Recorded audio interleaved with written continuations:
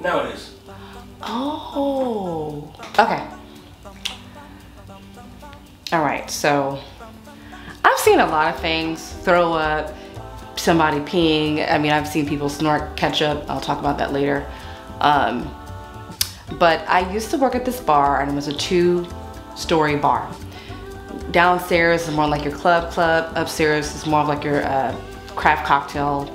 So you would think it's a little classier. Like, you know, we bougie up here. We making, you know, we slanging drinks, making, you know, all this, the whole shebang. So towards the end of the, the shift, we're cleaning up and I see something.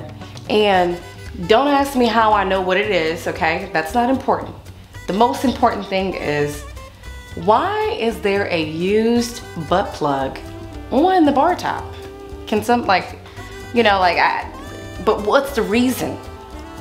And it wasn't like the metal one, it was like a silicone one, like a black silicone one.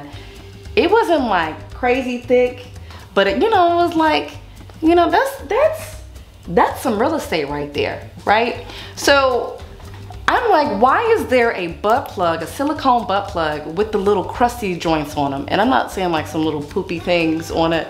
I'm saying like, I had a great time. I'm gonna leave some crusties on here. And since I had a great time, let me go ahead and toss the joint on the bar top and move on with my life.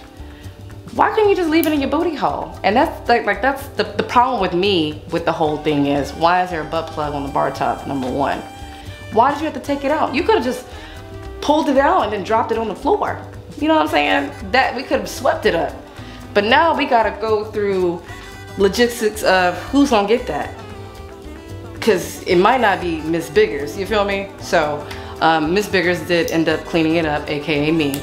Um, but I used a, like a cup to scoop it and then toss that joint. And um, yeah, that was probably one of the grossest things I've ever seen because it didn't make any sense.